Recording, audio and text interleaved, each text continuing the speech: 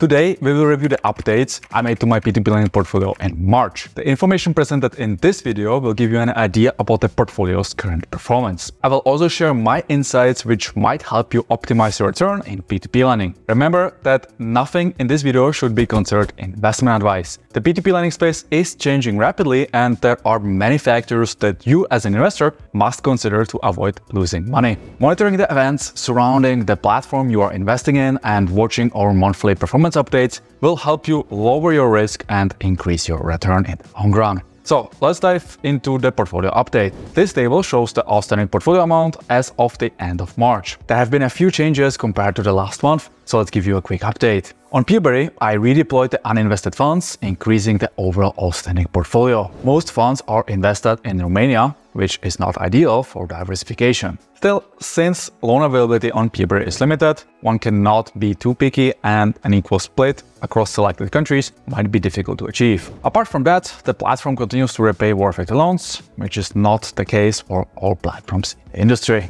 On Estate Guru, I did not redeploy the repaid principal, which decreased my exposure on the platform.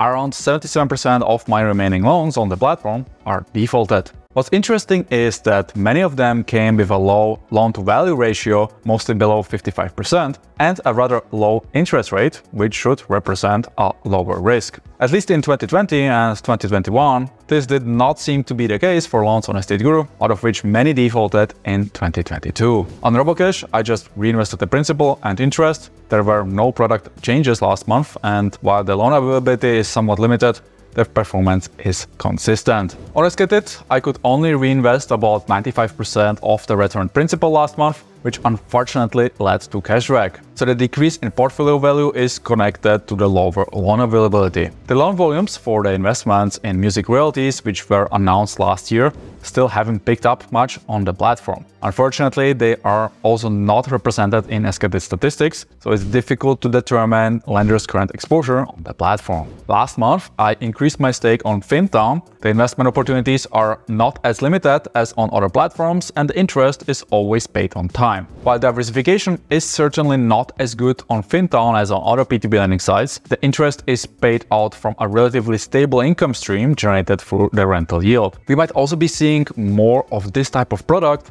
on other platforms in the near future. On Crowdpear, I slightly increased my exposure last month. There were no changes on Lande. Many of my loans on this platform are delayed over 90 days or defaulted. If you want more details, you can become a member of P2P Empire at buymeacoffee.com so that you can analyze the portfolio in more depth. So at the end of March, the outstanding portfolio amount was 81,031 euro, 1.13% higher than in February. This portfolio generated 712 euro in interest, 8.59% more than in the previous month. Most funds are diversified across three platforms, Peerberry, Esketit and Robocash. Regarding loan status, almost 76% are current, 13% are late, and 8% have defaulted. The number of delayed loans has increased compared to the previous month. The funds in recovery, which represent the war-affected loans on Peerberry, have decreased by another 7%. Regarding the loan type, most of the loans are commercial loans, followed by short-term loans, real estate loans, and rental projects. The share of commercial loans decreased in favor of short-term loans, which are mainly represented by the change in portfolio allocation based based on the loan availability on Peerberry.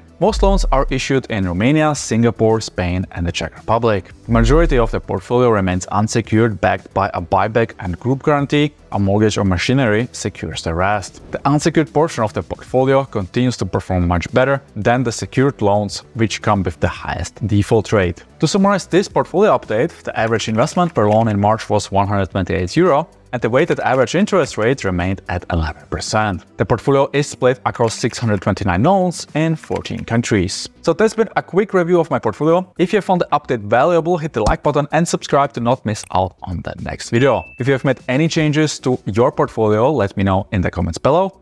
Thanks for watching and I'll catch you in the next one.